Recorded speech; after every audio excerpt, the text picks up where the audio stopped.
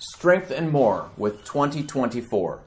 There's a lot of different metals out there, and there's people making all kinds of crazy claims. But here's the fact 2024 T3 is used in just about every airplane that has a need for strong heat treated metal. Everybody uses it because it's got good strength and it's priced right. Day after day, year after year, 2024 T3 gets the job done. We've been using 2024 in high strength applications since World War II because it's effective and it's a proven winner. 7075 may be the strongest, but 2024 is the metal that everybody uses and counts on.